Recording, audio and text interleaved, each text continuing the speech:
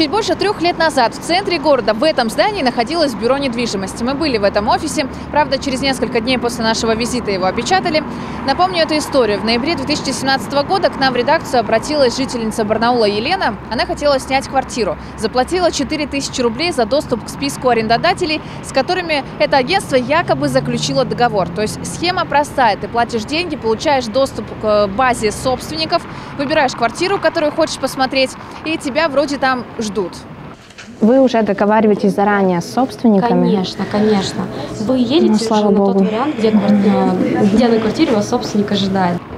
Только, как выяснилось, хозяин квартиры даже не подозревал, что к нему кто-то должен приехать.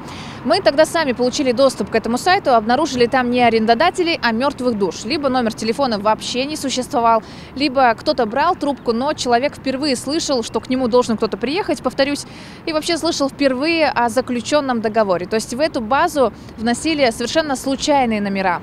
Тут сидят люди, которые уже еще не обмануты, которые еще не заплатили эти деньги.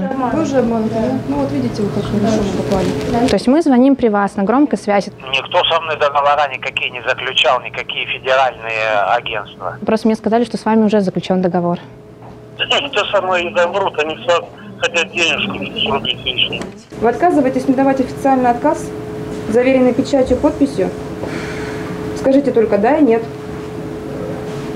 Расследование уголовного дела было осложнено продолжительным характером преступной деятельности, а также проведением большого объема следственных действий с участием более 160 потерпевших и оперативно-розыскных мероприятий на территории 22 районов и 6 городов нескольких регионов Российской Федерации. В Алтайском крае пострадали десятки людей. 5, 6, 7 тысяч рублей – это суммы, которые клиенты оставляли в бюро. Вернуть свои деньги они не смогли.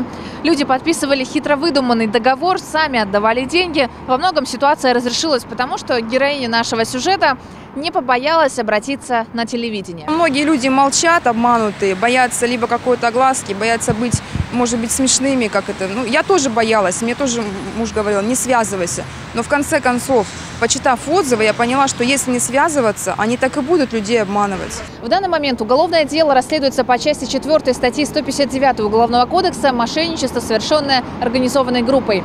Дело планируется направить в суд э, с обвинительным заключением в мае этого года. Мы обязательно будем следить за этой историей.